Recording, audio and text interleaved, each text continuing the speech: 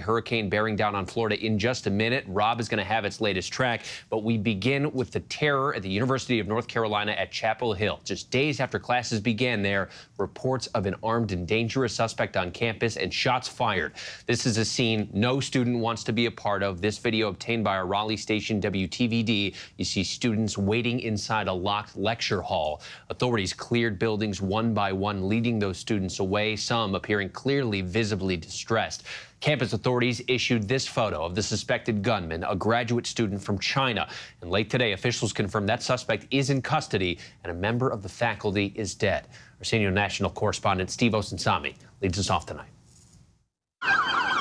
Again in America, this time in North Carolina, police have arrested an accused gunman about a mile away from the University of North Carolina at Chapel Hill. Stage for law enforcement, possible active shooter on campus. Where police say the accused gunman shot and killed a university faculty member. Everyone was just panicking. People almost opened the door and they were told not to open the door. And then finally we got evacuated. We'd locked the doors pretty quickly and we were just kind of like hunkering down. Campus alerts went out just after 1 p.m. Eastern, telling students to shelter in place. Authorities quickly released this photo saying if you see this person, keep your distance, put your safety first, and call 911.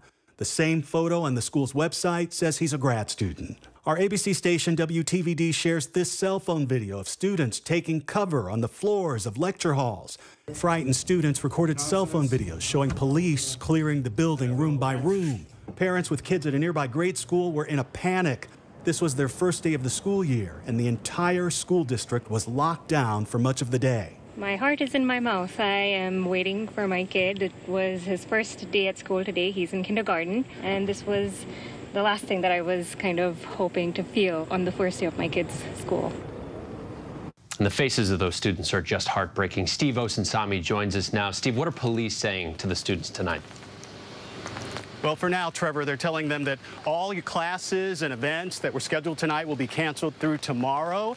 And they're telling us that they want students to stay away from the lab where this shooting happened and where they are currently investigating. Trevor. Of course, I doubt that will be a problem. Steve Osunsami, thank you. Next to that storm headed toward Florida, Idalia is expected to make landfall as a hurricane, and tonight dozens of counties are under a state of emergency. People are rushing to get ready in Tampa Bay, buying wood to protect their windows, filling up their sandbags as well. It's one of several spots of, with areas under evacuation orders. Idalia comes as parts of Florida are still recovering from Hurricane Ian, the deadly Category 4 storm that hit the state just last year. ABC senior meteorologist Rob Marciano has more from Tampa. Tonight, millions of families from Florida's Gulf Coast to the Carolinas racing to prepare for Idalia. In Tampa, pallets of water and other supplies flying off the shelf. Deborah LaCanta and her daughter Tori lining up for sandbags and getting ready to evacuate. Yes, I've been here 20 years and you don't wait. You just have to go. Idalia now passing through the gap between Cuba and the Yucatan Peninsula, fueled by the warmest Gulf of Mexico water temps on record. If it wobbles west, you're looking at Tallahassee's going to end up getting getting impact. If it wobbles east, you're going to see more severe impacts here in the Tampa Bay area. North of Tampa, up to 12 feet of storm surge expected. Residents in Cedar Key taking it seriously. It says Cat 3 now, with 105 cold temperature and be a 5 by the time it hits us. Idalia is set to be the first major hurricane to impact Florida since monster Category 4 Ian made landfall last September. With winds of 150 miles an hour, it decimated barrier islands and killed at least 150 people. Of course, we remember Ian well. Senior meteorologist Rob Marciano joins us now. Rob, as Florida is preparing now for this storm to arrive, I know you're tracking the latest on its path. Walk us through it. All right, Trevor. Well, it continues to gather in organization and forward speed in this direction. So hurricane warnings now continue to be expanded from Sarasota south to Tampa, all the way up through the Big Bend towards Apalachicola and points inland like Tallahassee and Gainesville. Uh, Gainesville could really get hurt with this. All right, right now off the western tip of Cuba, there you see it no eye yet, but it certainly will get one, I think, as we go into the next 24 hours. It gets into the Gulf of Mexico. That's where we expect it to rapidly intensify because of those warm waters and a favorable environment to Cat 1, Cat 2, Cat 3 quickly by Wednesday morning. And then Wednesday late morning sometime, making landfall around Cedar Key, give or take 100 miles, into Savannah as a strong tropical storm. Charleston getting some of this action as well. Wind, rain, and of course that storm surge very susceptible to it here in the eastern Gulf, up to 12 feet in some spots. Tampa could see seven feet or more, and because of that, evacs have started here. Hurricane Franklin, meanwhile, is a beast of a Category 4. Look at that eye. My goodness, 145 mile an hour winds. This one will miss Bermuda, but maybe gets a Cat 5 strength. And it's uh, it already bringing life-threatening rip currents and high surf to the East Coast. That will continue for the next couple days. Meanwhile, here in Florida, the urgency to prepare is certainly ramping up tonight. Trevor? And we already have several teams getting ready for what could happen. Rob Marciano for us tonight. Rob, thank you. And next to new details about the deadly shooting in Jacksonville, Florida. Tonight, the FBI is investigating this as a hate crime as we get a look at new surveillance video from the Dollar General where a 21-year-old white man killed three black people. And we're also going to hear the desperate 911 call in part from the shooter's family that was made to police. ABC's Alex Perez is in Jacksonville with those details. Tonight, new details in that racially motivated shooting at a Dollar General that left three black people dead. We have discovered new uh, facts regarding the shooter's movements and whereabouts hours and minutes before he committed his acts of senseless violence at Dollar General.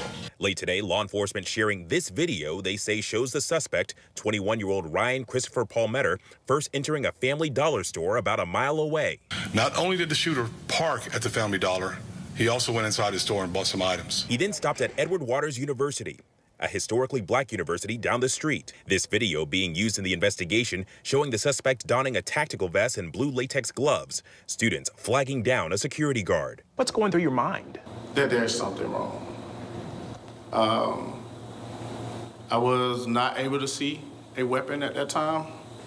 Um, however, I did see what appeared to be a tactical vest, a mask, along with a hat covering his head at that time. Authorities say the suspect hopped a curve and fled, driving to this Dollar General store where he began an 11 minute rampage. Surveillance video shows the shooter, without warning, firing 11 rounds into 52 year old Angela Michelle Carr's Kia, killing her.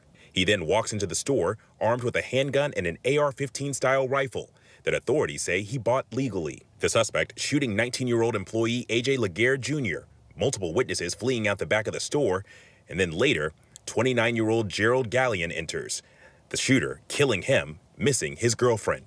And 10 minutes into this heinous act, he sends a text. The suspect texts his father and says, Use a screwdriver to get into my room. The father enters the room and finds a last will and testament of the suspect along with a suicide note on his laptop. ABC News obtaining this distress 911 call his father made to police. He left in his car a couple of hours ago. His father stating that his son had been suicidal before and was receiving psychiatric help, but had stopped taking medication. All right. And does your son go anywhere that you know of? Is there like common places no. he goes to? No, he doesn't go anywhere. By that time, the rampage was already over, the shooter taking his own life as officers arrived on the scene. Investigators finding writings on the gunman, which they say contained racist and hateful ideology, as well as painted swastikas on one of the firearms. Plainly put, this shooting was racially motivated and he hated black people. The FBI opening domestic terror and federal hate crime investigations, saying there's also evidence that the suspect harbored anti-LGBTQ plus and anti-Semitic grievances. The latest federal data shows a 12% increase in hate crime incidents. At a vigil Sunday, Governor Ron DeSantis, who signed laws to restrict how race is taught in Florida public schools, was booed. We were to Governor, he would come down and the governor condemning the shooting. We are not going to let people be targeted based on their race. President Biden asked about the shooting just before meeting with Dr. King's family members and other civil rights leaders at the White House. We can't let hate prevail. Tonight, family members of the victims praying that their loved ones spark change. I hope that this really does spark something for people to take a stand haunting to see those videos of the suspect knowing what would occur later in that day. Alex joins us now from Jacksonville. Alex, what are you learning about the shooter's background? Well, Trevor, uh, the sheriff's department says it's still investigating, but that that shooter worked at a Dollar Tree from October of 2021 to July of 2022. They also say that he had no prior criminal history. Trevor? All right, Alex Perez, thank you. Now, tonight, to several developments in the criminal cases against former President Trump. A judge has set March 4th of next year as the date for the federal trial on election interference charges. That is the day before Super Tuesday, and Trump has already said he will appeal that date. Separately, his former chief of staff and co-defendant in Georgia's election racketeering case, Mark Meadows, he took the stand for hours today trying to get that case moved to federal court. ABC senior investigative reporter Aaron Katersky is in Atlanta for us, covering it all. Tonight, a federal judge in Washington setting a date for Donald Trump's trial on charges he tried to overturn the 2020 election, March 4th, just one day before Super Tuesday, smack in the middle of the presidential campaign. Special counsel Jack Smith in court for the decision. The former president had asked to push this trial off more than two years to April 2026. His lawyers arguing any sooner would amount to a show trial and a miscarriage of justice. In a heated hearing, they pointed to reams of documents to review and the pressures of the campaign. Judge Tanya Chutkan ordering Trump's lawyers to take the temperature down. Prosecutors argued Trump's own behavior on a near daily basis, including his posts on social media, requires a speedy trial, saying he has publicly disparaged witnesses, he has attacked the integrity of the courts, the citizens of the District of Columbia who make up our jury pool, and this potentially prejudices the jury pool. The judge seeming to agree, saying Mr. Trump, like any defendant, will have to make the trial date work regardless of his schedule. There is a societal interest to a speedy trial. At the same time, in Georgia, another key hearing underway.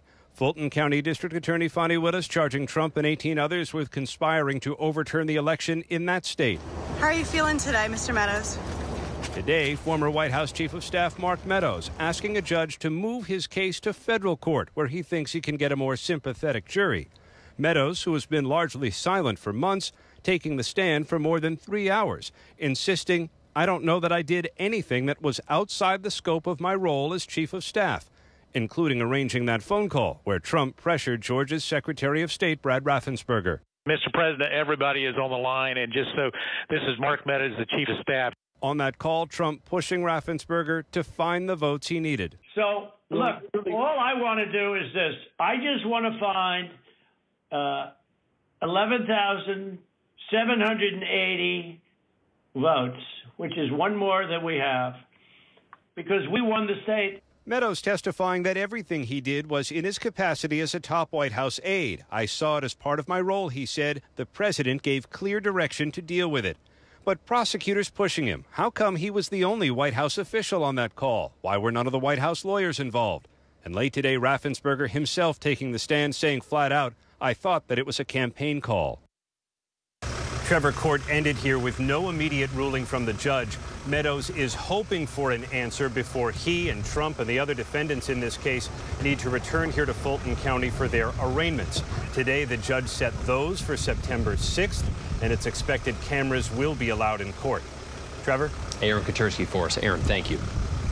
And let's stick with politics here. We have ABC News Deputy Political Director Averi Harper joining me now for a closer look at the former president's legal challenges. We know that there are several, but let's just focus on this first one, that March 4th trial date, of course, the day before Super Tuesday. If that date does stick, what kind of chaos are we looking at with that calendar? Well, Super Tuesday is a time when you have all of the opponents, all of the candidates who are going to be out uh, campaigning. They are trying to make last minute appeals uh, to all those voters because the name of the game at that point is turnout. What happens uh, and who is the GOP nominee could be determined from the outcome of Super Tuesday.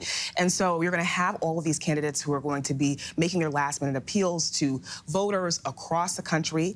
Uh, and that's going to be a critical time. And former President Trump is likely not going to be out on the trail. Uh, and we know that his opponent is going to be looking to take advantage of that. Maybe the single most important day of the primary itself. Uh, of course, this is just one case. He's got four of them that he's facing that's a single day ahead of Super Tuesday. Obviously, that one day would be very important. But with all these cases and the appeals and the potential trials, I mean, what is the former president's calendar going to look like as he tries to juggle the campaign? It is going to be a collision course when you look at his legal calendar. And uh, the civil trial for Trump's defamation case with E. Jean Carroll, that is happening at the same time, the same day as the Iowa caucus. That's January 15th. Uh, shortly after that, you're going to have Super Tuesday. After Super Tuesday, uh, you're going to see the uh, New York case, that hush money case uh, with Alvin Bragg here in New York City, that could begin. Uh, May 20th, we're going to see the federal criminal trial in the classified documents case. And this is all happening smack dab in the middle of a busy primary season. Uh, we earlier in the show already we talked about that racist shooting in Jacksonville. Another candidate, Governor Ron DeSantis, he's returned to Florida there in the aftermath.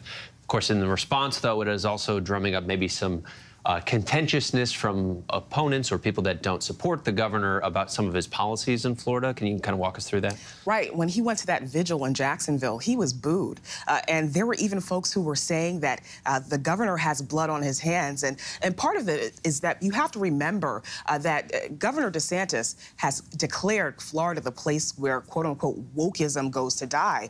And wokeism has really been shorthand for uh, things about diversity efforts, conversations about race uh, lessons about black history. Uh, and so uh, we have to remember that all of this is not happening in a vacuum. And so there are folks for whom that is not lost on, uh, and they are pointing to that today. And in, in that vein, speaking more largely about race, another candidate who saw a pretty prominent bump after the first debate, Vivek Ramaswamy.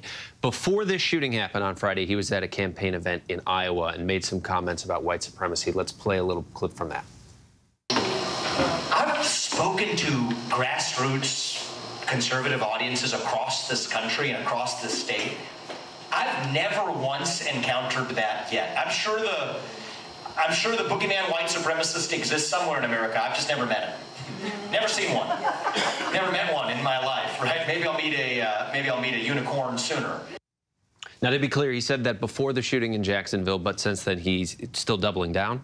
Right. Uh, he has said that he is uh, doubling down on those comments. He has not only not explicitly admitted that uh, white supremacy exists, uh, but he's also made other comments. He likened a, a sitting black congresswoman and a, a black author to uh, grand wizards of the KKK. Uh, and he is someone that has said lots of things that are inflammatory on the campaign trail about race.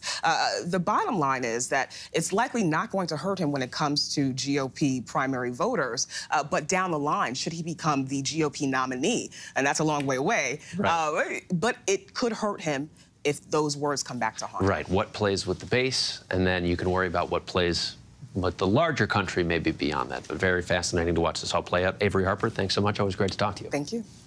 And we want to head back to Florida now in the tragic rescue helicopter crash. Broward County specifically, the disturbing video showing what so many people saw from the ground. ABC's Victor Oquendo is in Pompano Beach for us tonight. Tonight, the terrifying moment this helicopter spiraling, then crashing in South Florida, killing two people.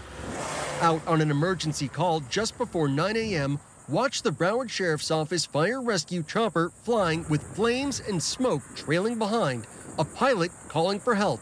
We just had an engine failure. Uh, we're going to require priority for a runway, please. We're declaring an emergency. Suddenly, the tail breaks midair, sending it spinning out of control and plunging into an apartment building, sparking this massive inferno and leaving a gaping hole. It sounded like a bomb. An explosion went off. Two of the three crew members on board that chopper survived. He got out? Yeah, he got out. Dramatic video showing them crawling on the roof near the burning wreckage. But authorities say a woman inside that building and Captain Terryson Jackson, who was on board that chopper, were killed. He was trapped, could not get out, and we lost him. Jackson had been with the department for 19 years in this video speaking about his call to serve. If someone is in the back of my unit, they're having possibly one of the worst days of their life. And it just helps me sleep better at night knowing that during that time I could be there for them. Tonight, Captain Jackson remembered.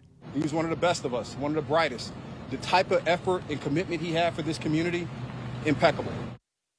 And Victor Oquendo joins us now from Florida, actually at the site of this uh, crash landing there. Victor, take us through what you're seeing there and also where's the federal investigation stand here into this crash? Trevor, this crash site just half a mile from the runway that they were trying to reach.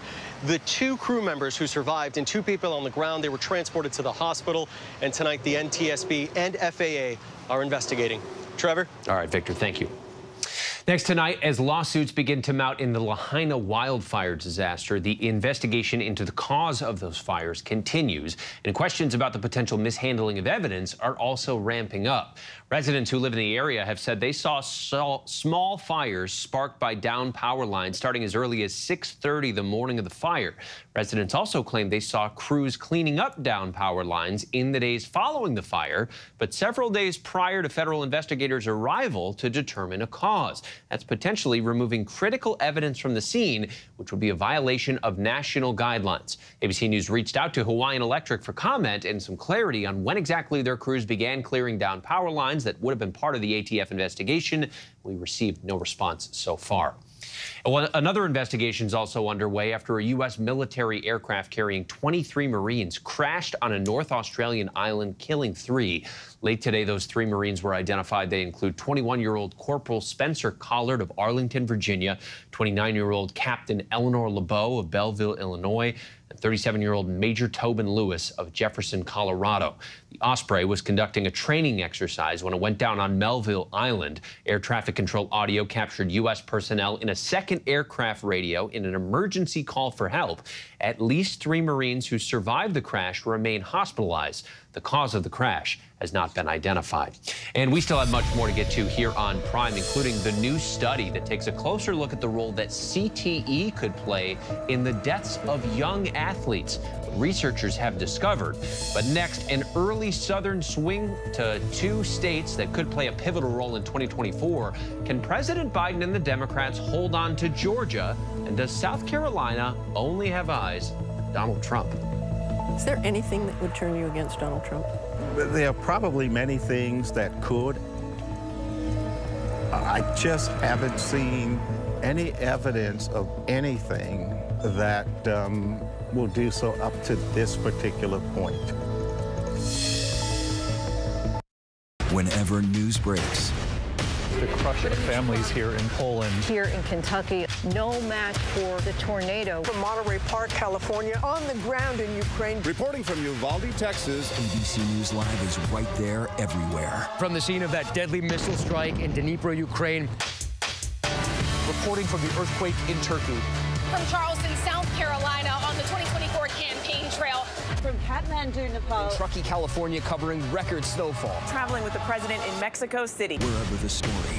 Here at this airport in Tampa, it's already shut down. Reporting from the nurses on the picket line. Reporting from Jerusalem. Here at 10 Downing Street in London. Streaming live to you. Wherever the story is. Wherever the story is. Wherever the story is. We're going to take you there. You're streaming ABC News Live. ABC News Live. You're streaming ABC News Live. ABC News Live. Streaming free everywhere. America's number one streaming news.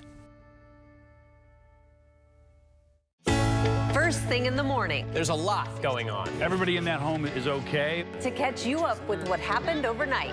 We are here at fashion's biggest night out. What's happening today? YouTube has unveiled a new set of policies. What people are talking about, the new ad campaign. Fast, straightforward. With some fun in between.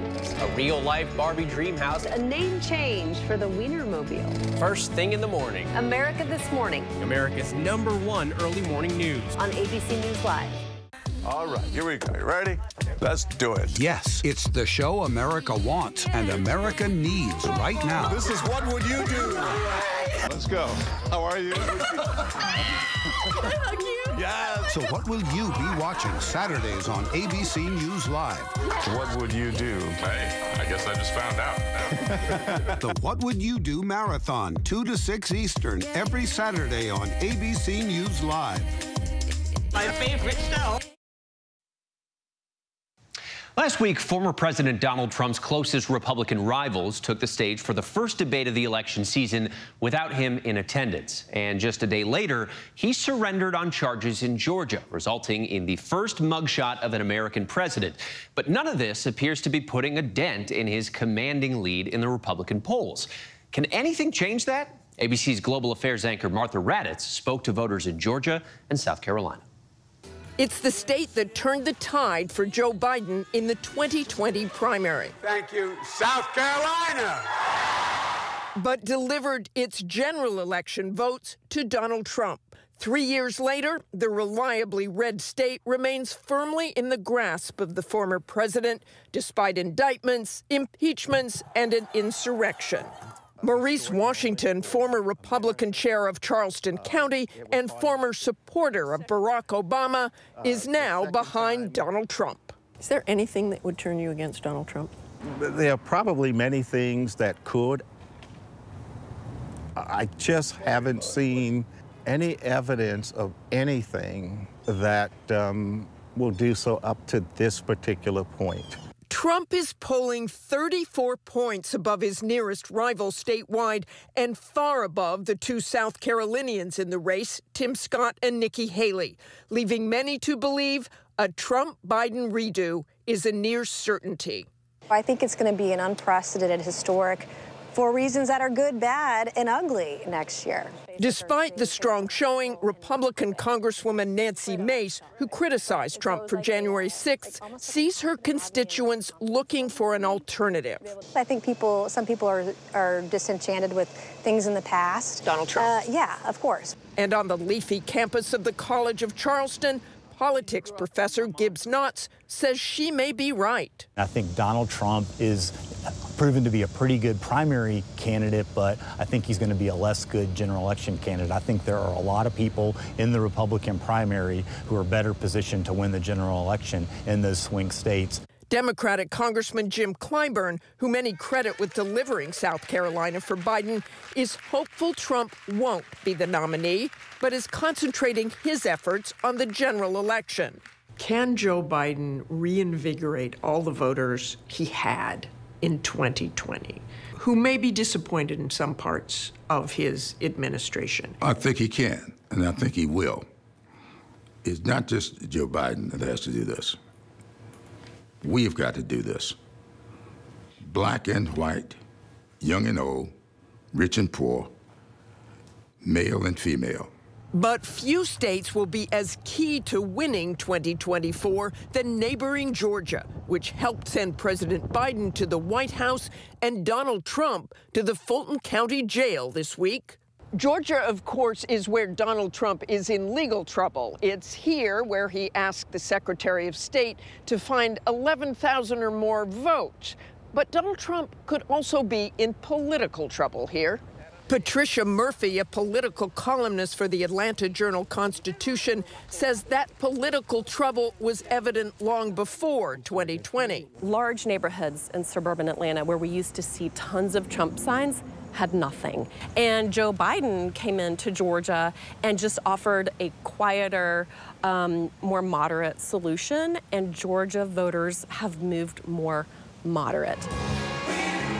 Biden's win in Georgia was fueled in part by a shift in suburban voters and growing minority populations in the metro Atlanta area. Voters Democrats will rely on heading to the ballot box. Cliff Albright, co founder and executive director of Black Voters Matter, is confident black voters will turn out once again for Biden. I was down here in 2020 and, and talking to black voters. They were enthused to come out. Do you feel that this time? I know it's early, but do you feel that? Honestly, I really do. And we believe that the closer that we get to 24, the, the more that people are going to be energized. But the truth is, we've been energized really ever since 2018 and, and 2020. But with Democrats worried about Biden's age and Republicans making the most of it, Democratic support in Georgia is no guarantee. I think Joe Biden is helping Donald Trump a little bit right now. Joe Biden is seen right now as a depreciating asset.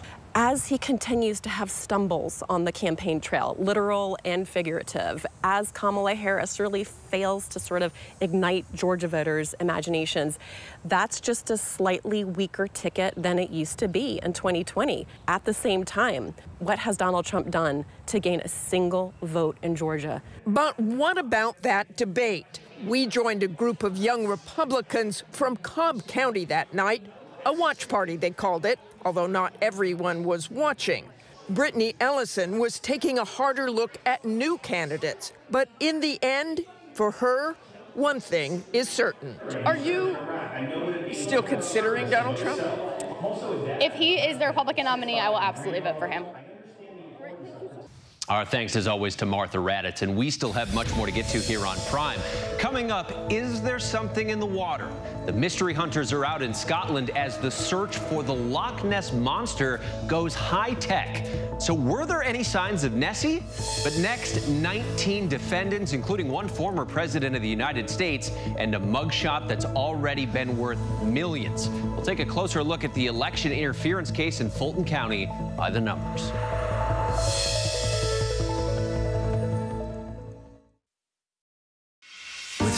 Much at stake, so much on the line, more Americans turn here than any other newscast. ABC News World News Tonight with David Muir, America's number one most watched newscast across all of television.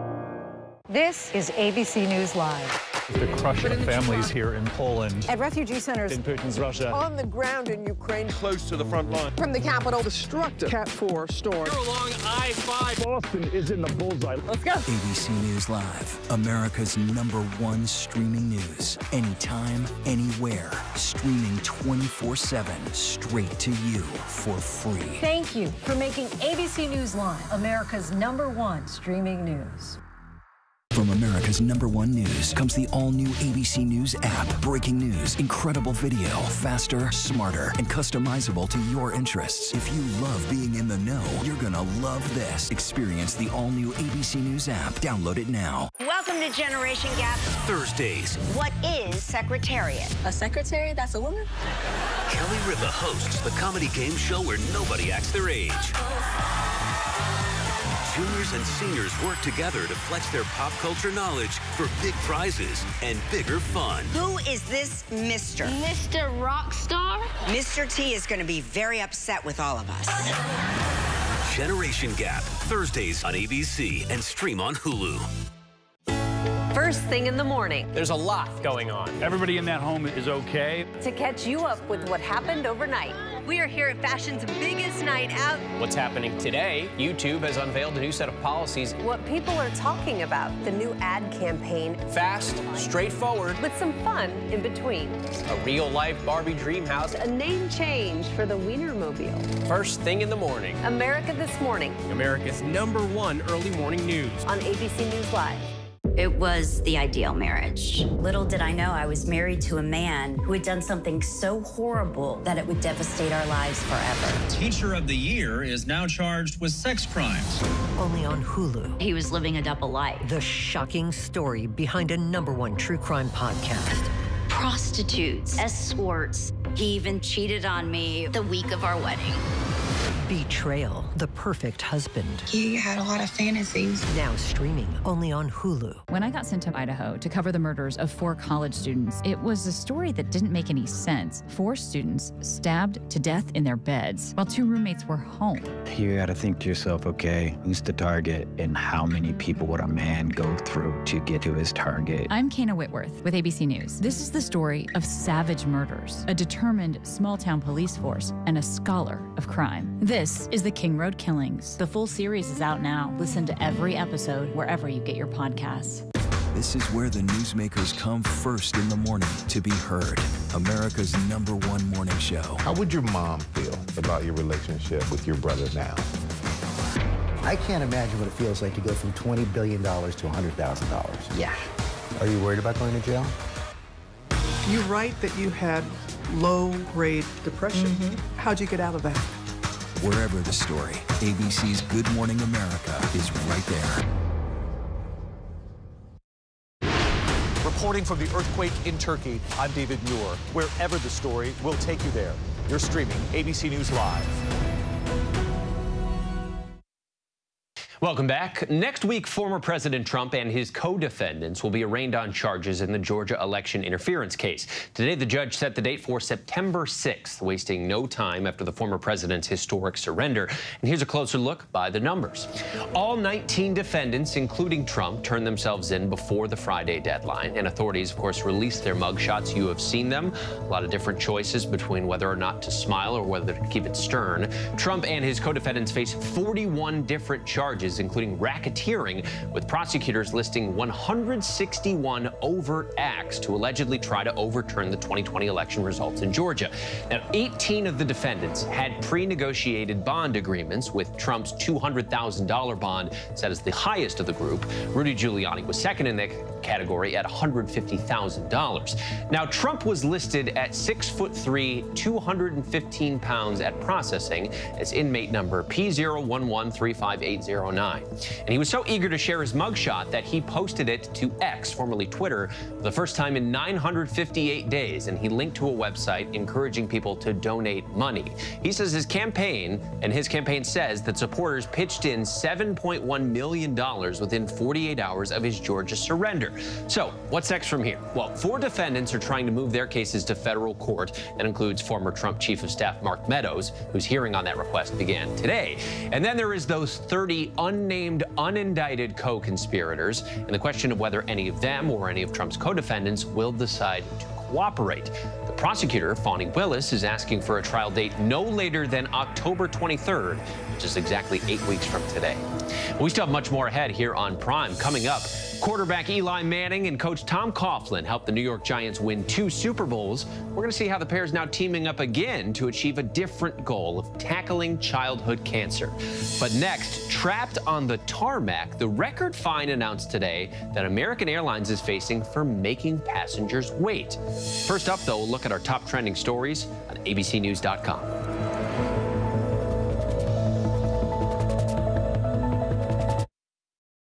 What does it take to be America's number one news? It takes asking the straightforward, tough questions. Do you believe that Donald Trump should ever be president again? How would your mom feel about your relationship with your brother now? I can't imagine what it feels like to go from $20 billion to $100,000. Yeah. Are you worried about going to jail?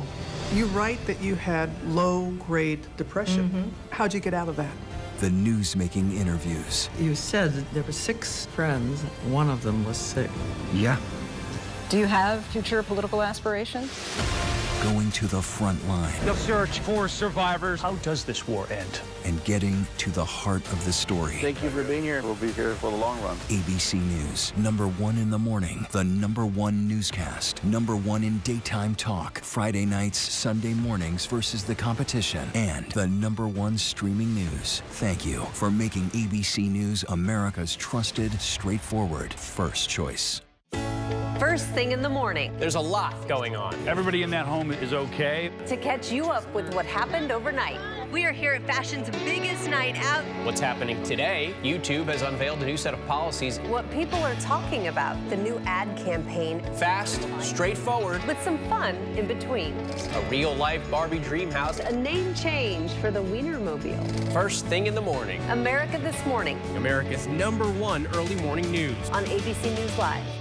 This is ABC News Live. The crush of families here in Poland. At refugee centers In Putin's Russia. On the ground in Ukraine. Close to the front line. From the capital. Destructive Cat 4 storm. along I-5. Boston is in the bullseye. Let's go. ABC News Live, America's number one streaming news. Anytime, anywhere. Streaming 24 7 straight to you for free. Thank you for making ABC News Live America's number one streaming news. When I got sent to Idaho to cover the murders of four college students, it was a story that didn't make any sense. Four students stabbed to death in their beds while two roommates were home. You gotta think to yourself, okay, who's the target and how many people would a man go through to get to his target? I'm Kayna Whitworth with ABC News. This is the story of savage murders, a determined small town police force, and a scholar of crime. This is the King Road Killings. The full series is out now. Listen to every episode wherever you get your podcasts. Get ready, America, every Friday. The hottest trends, styles, and must have. What's the right stuff to buy right now? I really love that. It's time to buy the right stuff. Yes. And save big time, too. The right stuff. Fridays on GMA. You're going to love it. This is ABC News Live Prime. Thanks so much for streaming with us. Live reporting, breaking news, exclusives, award winning, powerful, eye opening. ABC News Live Prime with Linsey Davis, streaming weeknights. All right, here we go. You ready? Let's do it. Yes, it's the show America wants and America needs right now. This is What Would You Do? Let's go. How are you? Yes. So what will you be watching Saturdays on ABC News Live? What would you do? Hey, I guess I just found out. the What Would You Do Marathon, 2 to 6 Eastern, every Saturday on ABC News Live. My favorite show. An eye-opening new study about CTE in athletes, the biggest airline fine ever for keeping passengers on the tarmac, and Simone Biles sticks the landing once again. These stories and more in tonight's rundown.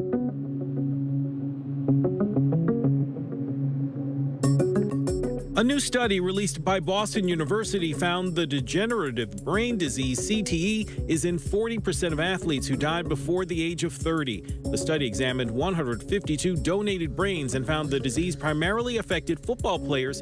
In a larger survey of other donated brains, fewer than 1% of the general population was found to have CTE. Mexican food chain Chipotle will pay $322,000 to settle allegations it broke Washington, D.C. child labor laws. A district investigation found Chipotle workers under 18 years old worked after 10 p.m. and beyond the maximum hours and days per week allowed in the district. Is there something out there? This morning, dozens are gathered for the biggest hunt for the Loch Ness Monster in 50 years. The search for a creature has been ongoing for decades, fueled by this famous 1934 photo, later revealed to be a hoax. This time, searchers using infrared drones and a hydrophone to map sounds in the lake. I think there's something there, whether it's a, giant eel or whatever. I, I think there's something down there. One of the country's biggest airlines has been handed the biggest fine ever for keeping passengers waiting on the tarmac for too long. American Airlines is being handed $4.1 million in fines from the Department of Transportation for 43 flights between 2018 and 2021 that were stuck on tarmacs for hours without giving passengers a chance to get off. Over 5,000 passengers were impacted on those flights. American says it was a very small number out of all of its flights over those years and the most were due to bad weather in Dallas. Legendary singer songwriter Elton John was briefly hospitalized after a fall at his villa in France yesterday. Representatives for the artist say the 76 year old is back at home and in good health. He recently wrapped up his farewell Yellow Brick Road World Tour in Stockholm. John played for more than 6 million fans since the tour began in September of 2018. And Simone Biles is still on top of the gymnastics world, becoming the only gymnast to win the U.S. All Around Championship for the eighth time this weekend. The 26 year old started competing 10 years ago as a teenager and has set multiple records in the sport. She will compete at the World Championships in Belgium this fall.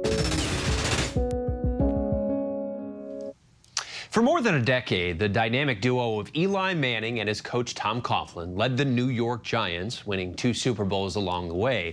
And now the former coach and QB are teaming up again off the field for Childhood Cancer Awareness Month. We had a chance to visit them at the Giants facility and hear more about their plans to fight childhood cancer. Good to see you again. Thank you. Welcome back to East Rutherford.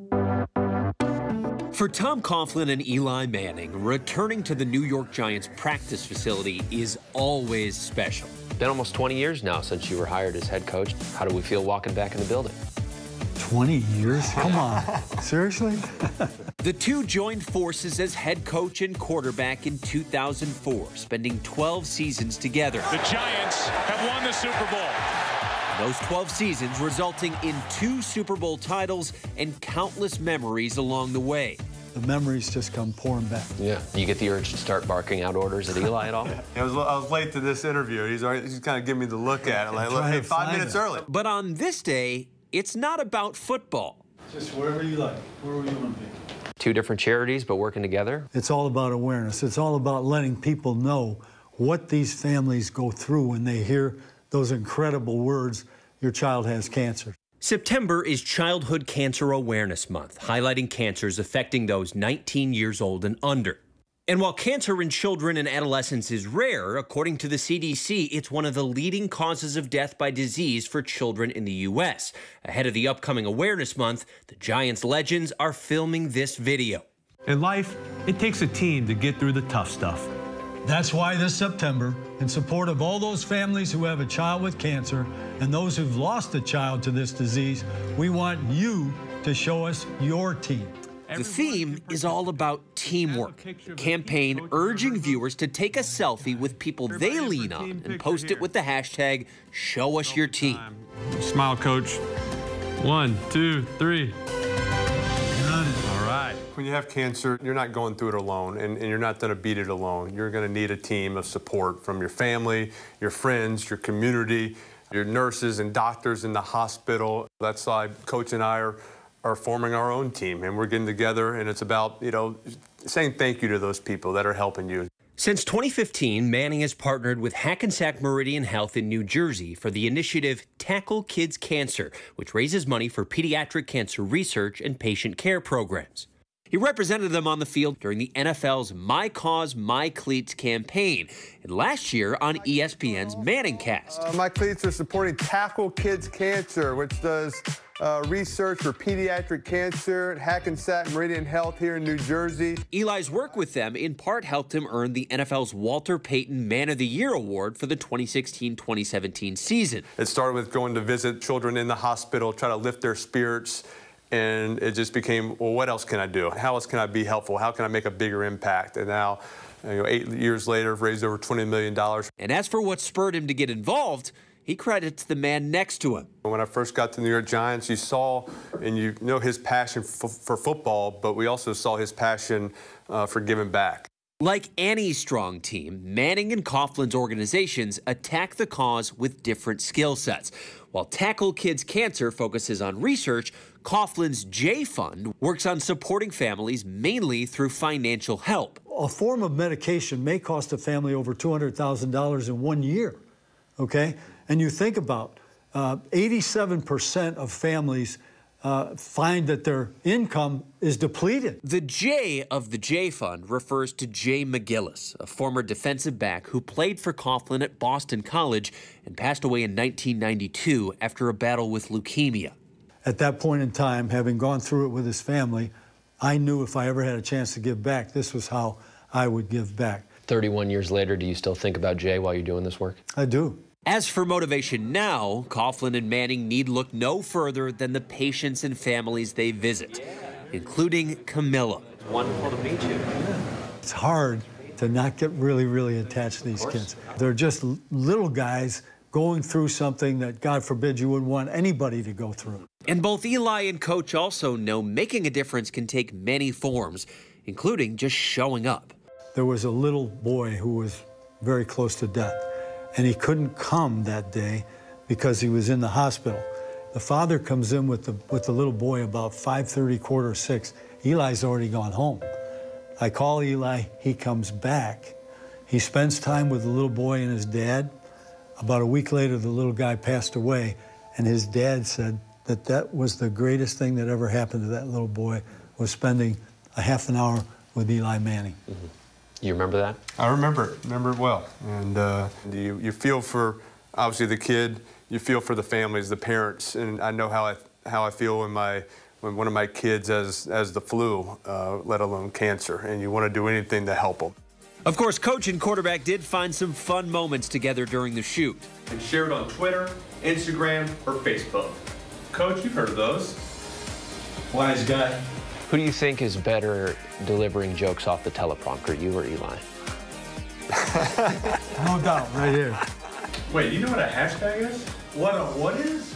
Exactly. Through that humor, a large platform, and the selfie to wrap it up. One, two, three. Eli and Coach hope their teamwork will help get help to those who need it. To be able to team up with Coach again and, and help uh, two of our charities that are so important to us that are dealing with cancer is awesome. I think we'll be able to have a big impact, raise a lot of awareness, and continue to help more families that are dealing with cancer. And our thanks to Eli and Coach for spending some time with me, getting to share that story, and Camilla, too, a wonderful little girl that I got to spend some time with.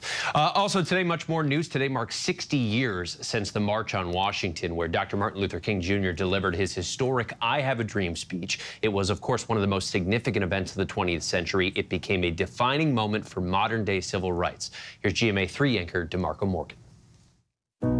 On that sweltering summer day in 1963, more than a quarter million people gathered near the Lincoln Memorial. People just came from all over. It was a major happening in American politics. When my mom and dad woke up um, and they looked out the window uh, from the Willard, uh, they were a little bit concerned. They didn't see many people on the streets. At that time, they were just hoping for 50,000. I am happy to join with you today in what will go down in history as the greatest demonstration for freedom in the history of our nation. Protest songs filled the air. A parade of speakers from John Lewis to A. Philip Randolph worked to invigorate the crowd. I have the pleasure to present to this great audience young John Lewis, National Chairman, Student Nonviolent Coordinating Committee. My friends, let us not forget that we are involved in a serious social revolution. And Dr. Martin Luther King Jr. delivered the now iconic I Have a Dream speech. Dr. King started out with a very boring speech because somebody had written it for him. And it, it, was it was good speech. It was sound politics. Uh, but then the spirit hit, and, and Mahalia Jackson said, Tell them about your dream. I have a dream that one day on the red hills of Georgia, sons of former slaves and the sons of former slave owners will they be able to sit down together at the table of brotherhood. The march and that speech playing a pivotal role in shaping the course of civil rights in America. There really has not been one movement since the 60s that the civil rights movement did not influence um, on some level. Decades later, civil rights leaders are back here again to mark the 60th anniversary of that speech and a march that changed the world. You know, Daddy was a uh, an expert at how to use the King's English in speaking the truth. I mean, he was very surgical. Daddy had the, the, the healing balm in his tongue. The organizers saying this is a continuation, not a commemoration of Dr. King's work. Dr. King just didn't see what was wrong and, and said, okay, that was nice, and talked about it. He actually was a man of action and did something about it, and that's what we're hoping to encourage Americans to continue to do. Bringing together global civil rights leaders. The focus of this weekend is to bring together two over 200 organizations where we all have something in common. Every last, or many of us came over here in different boats, but we're now all in the same boat together. With a focus on the next generation as well. It's very important for every generation to play a part. No movement for social change in this world has happened or been effective without the involvement of young people. Dr. King urged us to struggle against the triple evils of racism, poverty, and bigotry. Our daughter, um, Yolanda Renee King, is the only grandchild of Martin Luther King Jr. and Coretta Scott King at 15 years old. We need the vision uh, and energy of young people to help move this country forward. My mother said something critical. She said, struggle is a never ending process, freedom is never really won. You earn it and win it in every generation. Thanks to DeMarco Morgan for that. And finally tonight, the remarkable story of Cheryl White, who made history in 1971 as America's first black woman jockey at just 17 years old. Her extraordinary life is now at the center of a new novel called The Jockey and Her Horse. Good Morning America's Robin Roberts has the story. She was the definition of a trailblazer, but you probably never heard her name. There was a time that she was a household name. She was viral before we knew what viral was. Everywhere I went as a kid, everybody knew who Cheryl White was. In 1971, Cheryl White galloped into the world of horse racing and conquered the feat of becoming the first ever African American woman jockey at just 17 years old. The grandstands were full, and on her shoulders was the idea if she wins, it means women are equal. It means black people have a place in this sport. If she doesn't, and these are headlines, if she doesn't, it means the opposite. And this is what a 17 year old girl was carrying with her in the saddle. The daughter of a famous horse trainer, Cheryl had been honing her skills since she was old enough to ride And her brother Raymond says she could race with the best of them. What were the qualities about her that made her such a great jockey? You know, they say a good jockey should be, their back should be flat. You could put a cup of coffee on it. and, um, and her form was perfect. Over the next two decades, she kept making history of her own, winning 750 races and several coveted awards. How do you think that we don't know that your sister is not more well known? My sister wasn't a great self promoter. She was the type that just wanted to ride, she wanted to be left alone. She did not brag about herself. I was the braggart in the family. No. Oh, yeah. The events of Cheryl's extraordinary life inspiring the new young adult novel, The Jockey and Her Horse, written by author and New York Times reporter Sarah Maslin Nir and Cheryl's beloved brother, Raymond White Jr.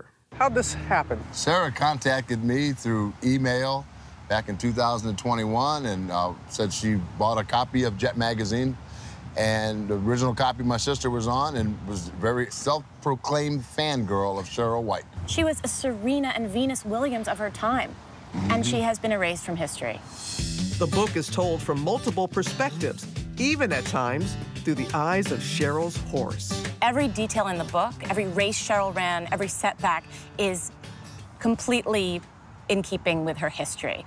The part that's a narrative fiction, a, a fanciful idea, is that our Cheryl goes on a journey and discovers that she's not singular, that she is part of a long legacy and a race legacy of black contribution to thoroughbred racing. You called your sister a true American legend. Yes. She was just a pioneer. I mean, she, at 17, during the turbulence that we had going on in the early 70s, she was amazing to go through everything she went through fighting for the right to ride and wanting to ride. Raymond says he hopes the book inspires the next generation to ride toward their own finish line, whatever that may be. The book is not just to inspire children to be jockeys or ride horses, but to inspire them to be anything they want to be. From an astronaut to a senator, a teacher, whatever you want to be, aspire to be, you can do that. And thanks so much to Robin Roberts for that report. That is our show for this hour. I'm Trevor Ault in for Linsey Davis. You can stay tuned to ABC News Live for more context and analysis of the day's top stories. Thanks so much for streaming with us and have a great night.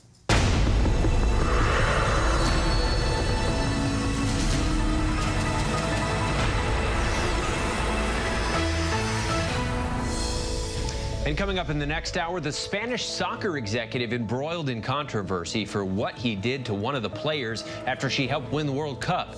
And abandoning their homes and living at a local gym instead, the dangers leading these families to flee from their neighborhoods.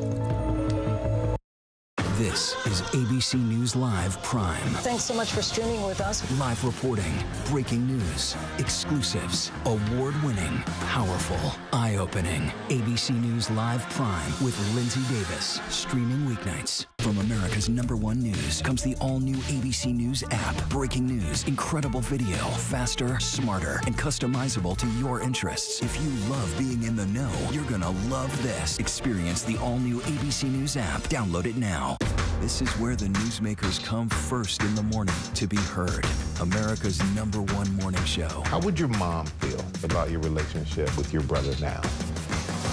I can't imagine what it feels like to go from $20 billion to $100,000. Yeah. Are you worried about going to jail?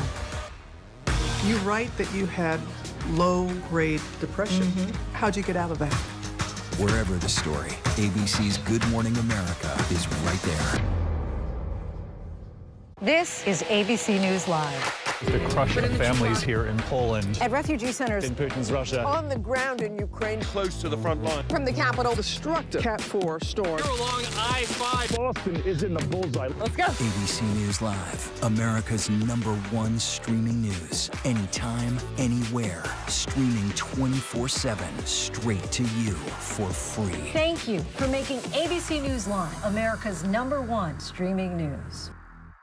It was the ideal marriage. Little did I know I was married to a man who had done something so horrible that it would devastate our lives forever. Teacher of the Year is now charged with sex crimes. Only on Hulu. He was living a double life. The shocking story behind a number one true crime podcast. Prostitutes, escorts. He even cheated on me the week of our wedding.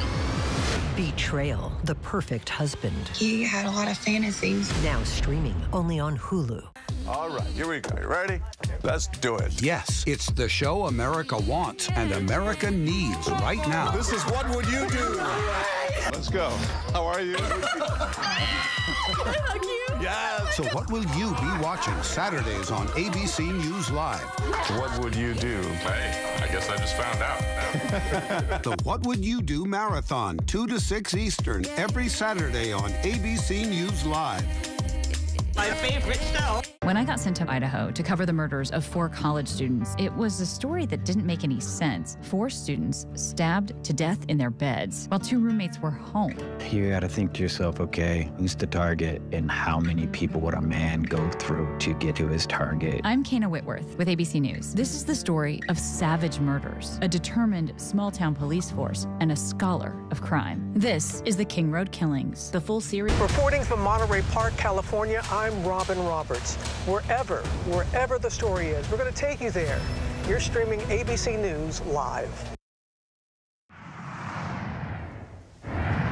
Good evening, everyone. I'm Trevor Ault in for Linsey Davis, and this is ABC News Live Prime. Thanks so much for streaming with us. We have a lot of news to get to this evening, including the latest developments at the University of North Carolina, Chapel Hill, after a shooting on campus just days into the school year.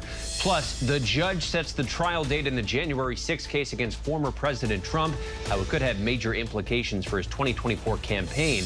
And tonight, it's being called Spain's Me Too movement, the new fallout from that unwanted kiss after the Spanish women's soccer team captured the World Cup. But we begin with that storm headed toward Florida. Idalia is expected to make landfall as a hurricane, and tonight dozens of counties are under a state of emergency. The storm's already lashing parts of Cuba tonight, and all of this comes as parts of Florida are still recovering from the deadly Hurricane Ian, Category 4 storm that hit the state last year. ABC senior meteorologist Rob Marciano has more from Tampa. Tonight, millions of families from Florida's Gulf Coast to the Carolinas racing to prepare for Idalia. In Tampa, pallets of water and other supplies flying off the shelf. Deborah LaCanta and her daughter Tori lining up for sandbags and getting ready to evacuate. Yes, I've been here 20 years and you don't wait. You just have to go. Idalia now passing through the gap between Cuba and the Yucatan Peninsula, fueled by the warmest Gulf of Mexico water temps on record. If it wobbles west, you're looking at Tallahassee is going to end up getting getting impact. If it wobbles east, you're going to see more severe impacts here in the Tampa Bay area. North of Tampa, up to 12 feet of storm surge expected. Residents in Cedar Key taking it seriously. It says Cat 3 now with 105 cold temperature and BM5 by the time it hits us. Idalia is set to be the first major hurricane to impact Florida since monster Category 4 Ian made landfall last September. With winds of 150 miles an hour, it decimated barrier islands and killed at least 150 people. Of course, we remember Ian well. Senior meteorologist Rob Marciano joins us now. Rob, as Florida is preparing now for this storm to arrive, I know you're tracking the latest on its path. Walk us through it. All right, Trevor. Well, it continues to gather in organization and forward speed in this direction. So hurricane warnings now continue to be expanded from Sarasota south of Tampa all the way up through the Big Bend to, towards Apalachicola and points inland like Tallahassee and Gainesville. Uh, Gainesville could really get hurt with this. All right, right now off the western tip of Cuba, there you see it no eye yet, but it certainly will get one, I think, as we go into the next 24 hours. It gets into the Gulf of Mexico.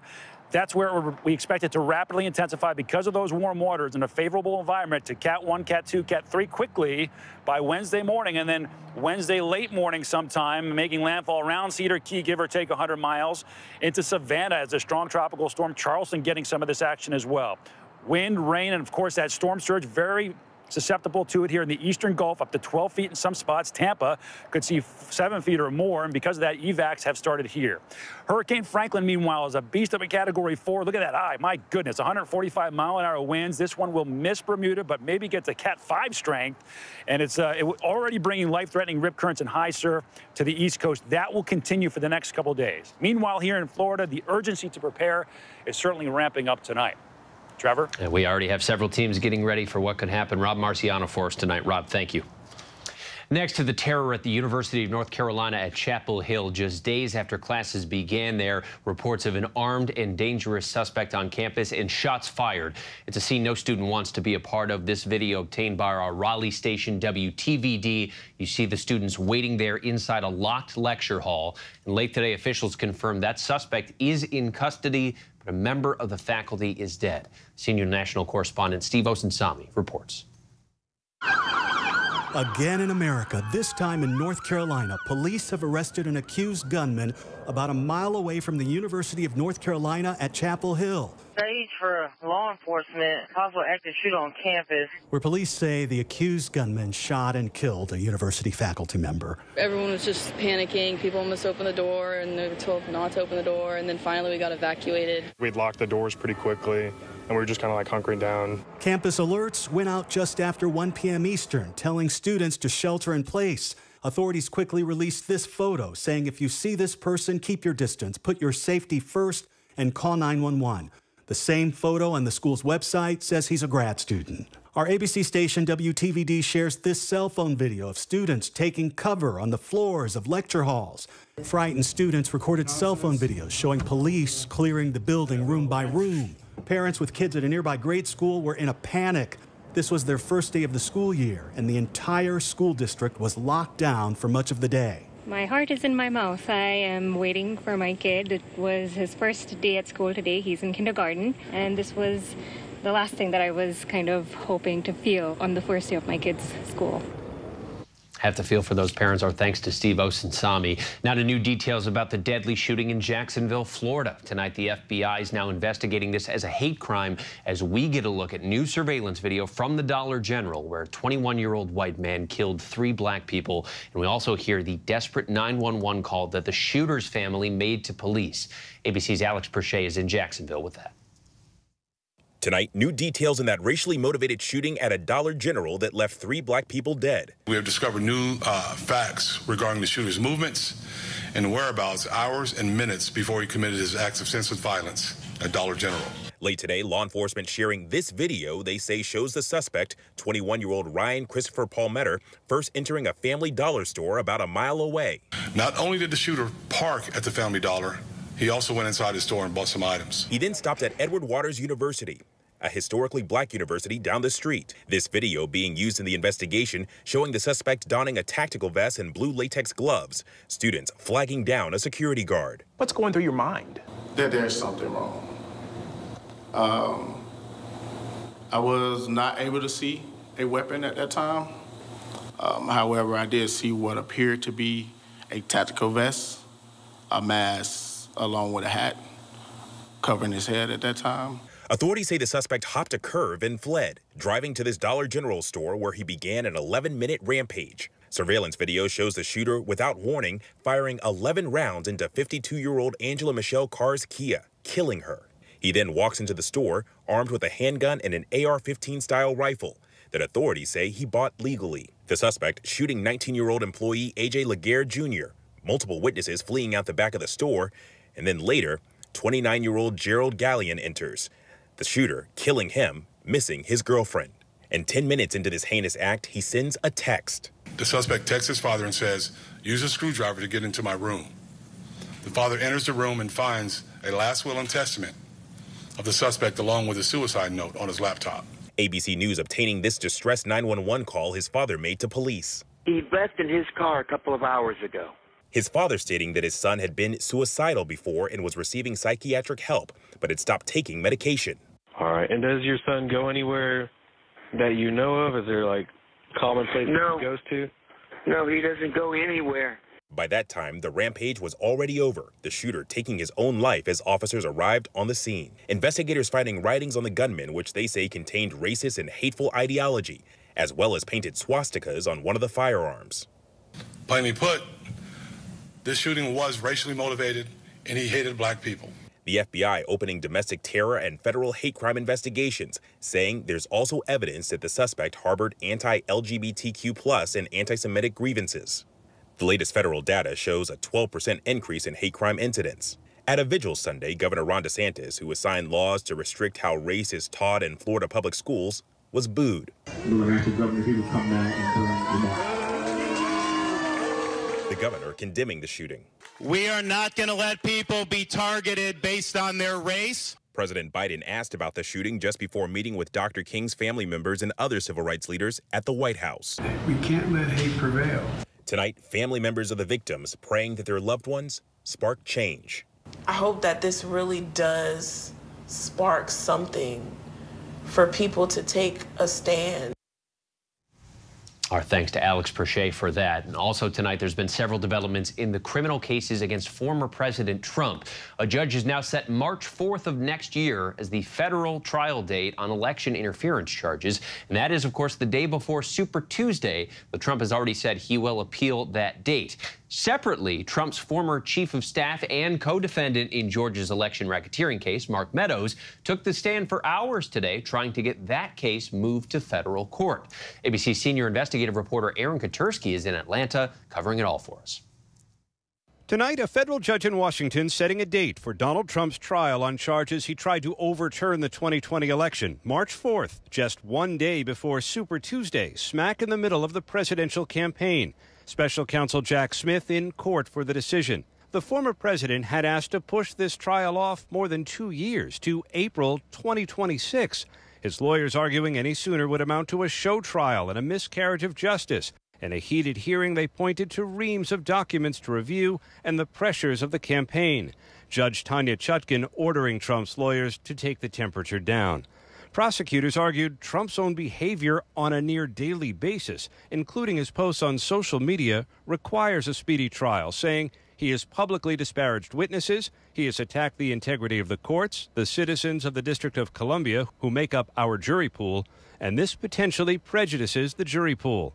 The judge seeming to agree, saying Mr. Trump, like any defendant, will have to make the trial date work regardless of his schedule. There is a societal interest to a speedy trial. At the same time in Georgia, another key hearing underway.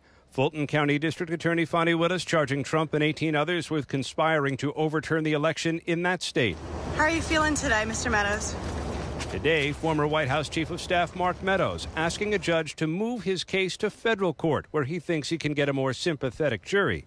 Meadows, who has been largely silent for months, taking the stand for more than three hours, insisting I don't know that I did anything that was outside the scope of my role as chief of staff, including arranging that phone call where Trump pressured Georgia's Secretary of State Brad Raffensperger. Mr. President, everybody is on the line, and just so this is Mark Meadows, the chief of staff. On that call, Trump pushing Raffensperger to find the votes he needed. So, look, all I want to do is this I just want to find uh, 11,780 votes which is one more that we have, because we won the state. Meadows testifying that everything he did was in his capacity as a top White House aide. I saw it as part of my role, he said. The president gave clear direction to deal with it. But prosecutors pushing him. How come he was the only White House official on that call? Why were none of the White House lawyers involved?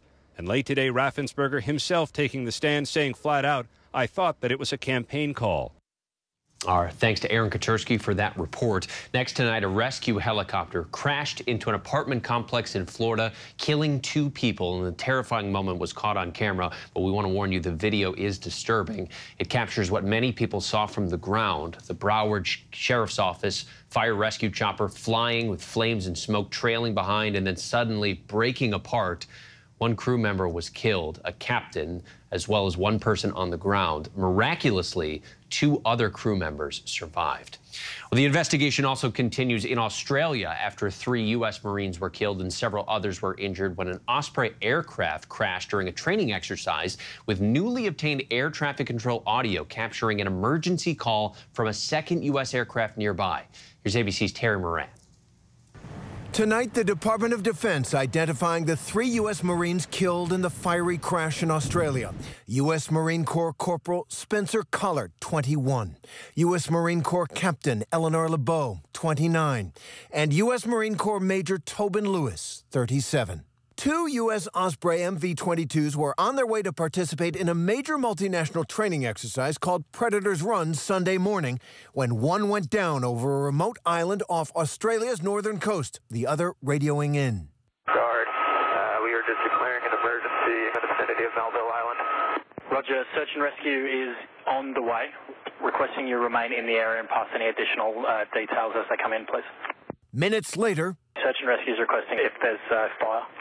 Hey, firm, uh, there's a significant fire in the vicinity of the crash site. the cause of this crash is still unknown. Investigators are expected to remain at the site for days. Tonight, three Marines remain hospitalized. Those Marines who did survive will be able to help investigators figure out what brought this aircraft down.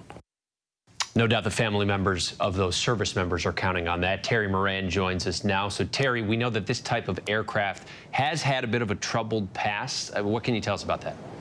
It really has, Trevor. The, the Osprey uh, has had a history of deadly crashes and mechanical problems. Over the years, uh, more than a dozen fatal, deadly crashes, resulting in more than 50 fatalities uh, in those crashes. And just last year, you may remember, five Marines in an Osprey were killed during a crash uh, in a training exercise outside of San Diego in California. A Marine investigation concluded just last month into that crash that it was caused by mechanical failure. Trevor? Wow. Okay. All right. Terry Moran, thank you. We still have much more to get to coming up. The growing calls for Spanish soccer boss Luis Rubiales to resign after kissing one of his players on the World Cup stage, and now the investigation. But next, danger and desperation in Haiti, the dramatic action some residents in Port-au-Prince are now taking to protect themselves from out-of-control gang violence. Whenever news breaks, The crush of families here in Poland. Here in Kentucky, no match for the tornado. From Monterey Park, California, on the ground in Ukraine. Reporting from Uvalde, Texas. ABC News Live is right there everywhere. From the scene of that deadly missile strike in Dnipro, Ukraine. Reporting from the earthquake in Turkey. From Charleston, Kathmandu, Nepal. Truckee, California, covering record snowfall. Traveling with the president in Mexico City. Wherever the story. Here at this airport in Tampa, it's already shut down. Reporting from the nurses on the picket line. Reporting from Jerusalem. Here at 10 Downing Street in London. Streaming live to you. Wherever the story is. Wherever the story is. Wherever the story is. We're going to take you there. You're streaming ABC News Live. ABC News Live. You're streaming ABC News Live. ABC News Live. Streaming free everywhere. America's number one streaming news.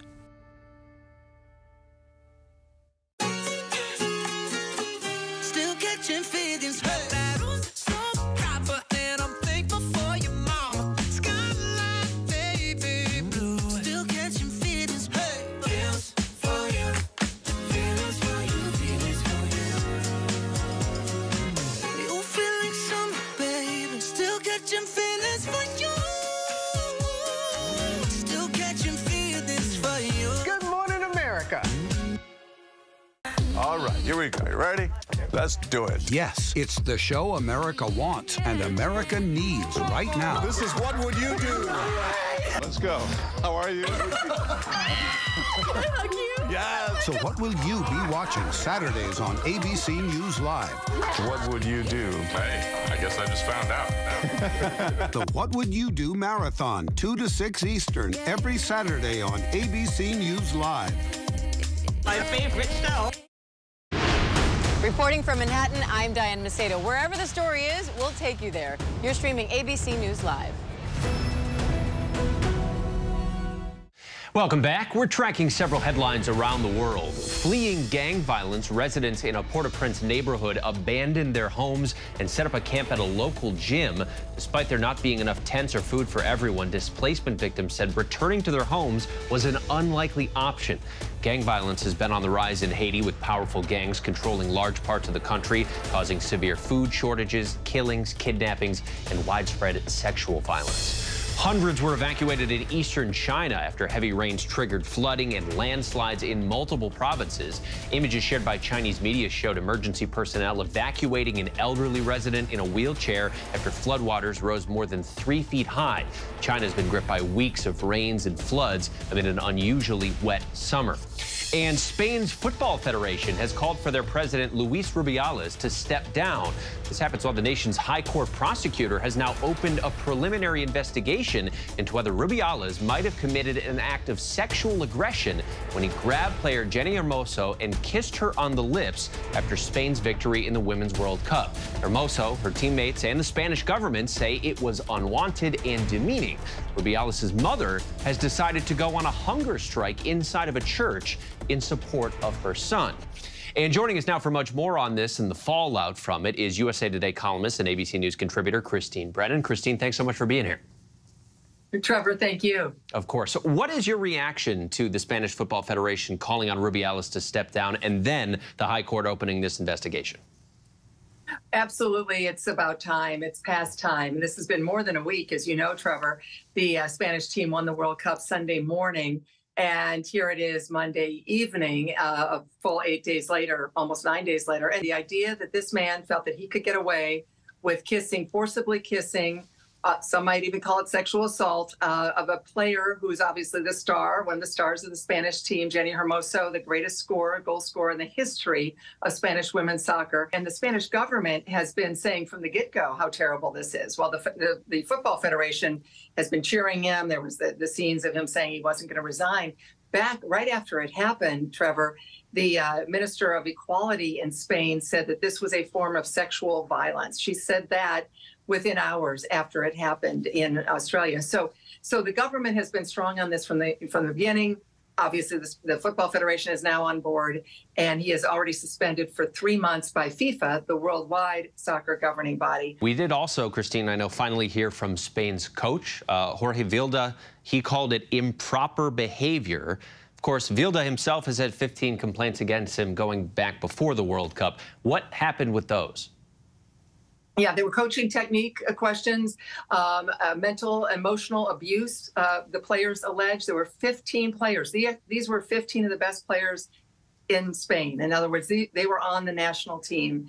And they all wrote letters, personal letters, to the Federation, which of course means Luis Rubiales, of all people, back in late September last year. So we're almost at the year mark for that. And they complained. They said they needed changes. They needed changes in the coaching staff. It was emotional. It was a concern about health, concern about injuries, pretty much everything across the board that they were worried that Vilda was not uh, doing his job properly and that they were being targeted by him. Instead of listening to the players, the Spanish Federation went with Vilda 100% and told all 15 players they were no longer on the team and um, that and they only brought three of them back 12 never made it to the world cup which is pretty sad when you think about it only three made it on the world cup team the 23 woman world cup team it is all highlighting a much broader conversation, Christine, that clearly you've been beating the drum on for quite some time about what particularly female athletes have had to endure, coaches abusing their power. Given what we're seeing and how obviously there's a lot of attention on this, but clearly there's much more that was left behind. Is the world getting any better at preventing this types of things? Is there any reason to think that there's going to be actual institutional change here? Trevor, it's a it's a great question. Like, is this a reckoning? Is this that mm-hmm. watershed moment that we've been waiting for? You know, we we would have thought these things might have happened sooner around the world, but as one of the government officials in Spain said this week, this is their Me Too mo- movement. This is their Me Too moment, and this is something that apparently happens in countries at different times. Uh, the machismo, the misogyny, the sexism of the Spanish Football Federation, there it is on display for all to see. The felt that, uh, that Rubiales felt so comfortable doing that in public. What in the world's going on behind the scenes uh, in that federation? Well, now the world sees it, and what we have seen uh, pretty much around the around the world and across the board is support for Jenni Hermoso and support for the women and anger at Rubiales. And that is a huge step forward. And Christine, before I let you go, I just want to make a point uh, to end this segment if we can. Talking about Jenni Hermoso, I mean, we want to make sure that she's not just the woman who was kissed against her will. She's a World Cup champion. She's a legend in Spanish soccer. She's not what happened to her. Can you just talk a little bit about the kind of player she is and the kind of leader that she is? That's such a good point, Trevor. Absolutely. 33 years old the greatest goal scorer in the history of Spain. She's five foot nine, which is pretty tall in soccer, which makes her a great target uh, in front of the goal and set pieces and what have you. And she is uh, the leader of Spain in so many ways. And so a great career, not just a good career, but a legendary career, which is why the world is, is all the soccer players around the world are, are wearing our wristbands saying that they're with her. They support her because she's such a popular figure and she's such an excellent soccer player. And yes, I agree with you that it's much more than that kiss. This is a woman of substance, a great athlete, a great person. And actually, I think she's going to end up doing even better things moving forward. Certainly, people looking forward to what she's going to do, but they're also looking forward to much more from her on the pitch. Christine Brennan, thanks so much for being here. My pleasure, Trevor. Thank you. And we still have much more here on Prime, including When You Wish Upon a Star. Dozens of wishes come true at the most magical place on earth. We'll be right back.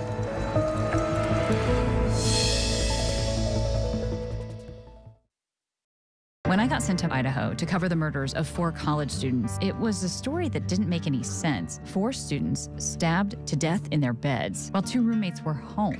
You gotta think to yourself, okay, who's the target and how many people would a man go through to get to his target? I'm Kayna Whitworth with ABC News. This is the story of savage murders, a determined small town police force, and a scholar of crime. This is the King Road Killings. The full series is out now. Listen to every episode wherever you get your podcasts. With so much at stake, so much on the line, more Americans turn here than any other newscast. ABC News World News Tonight with David Muir, America's number one most watched newscast across all of television. From America's number one news comes the all new ABC News app. Breaking news, incredible video, faster, smarter, and customizable to your interests. If you love being in the know, you're going to love this. Experience the all new ABC News app. Download it now. All right, here we go. You ready? Let's do it. Yes, it's the show America wants and America needs right now. This is What Would You Do? Let's go. How are you? Yeah. So what will you be watching Saturdays on ABC News Live? What would you do? Hey, I guess I just found out. the What Would You Do Marathon, 2 to 6 Eastern, every Saturday on ABC News Live. My favorite show. Welcome back. We turn now to a magical milestone for the Make-A-Wish Foundation. It officially marked the 150,000th wish granted at Walt Disney World. Our Gio Benitez has the story. Welcome one and all to the Royal Ball. It's a royal extravaganza. Disney and the Make-A-Wish Foundation hosting the Once Upon a Wish party for over 50 Wish kids receiving the royal treatment. In attendance, 17-year-old Michaela, who battled cancer, whose wish is to sing a Disney princess anthem at the royal ball.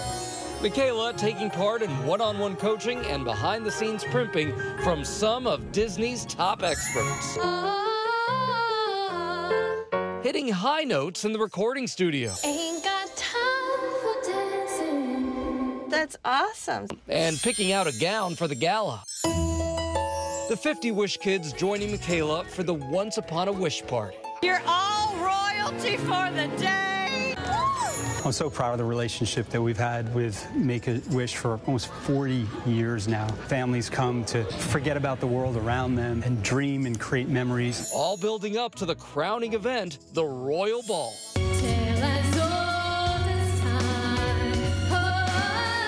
My wish definitely came true. I feel like a Disney princess.